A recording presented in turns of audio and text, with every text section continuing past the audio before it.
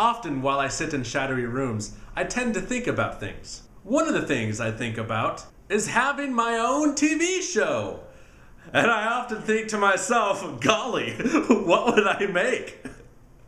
What kind of tomfoolery would I pull? So I have a few examples. Dancing with Todd and friends. Dance! Dance!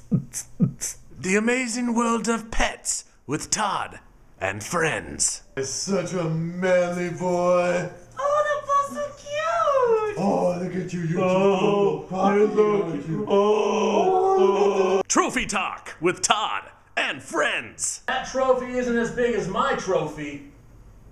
No, but it has marble. And that was Trophy Talk. So as you see, while sitting in shadowy dark rooms, the ideas, they just come a flowing.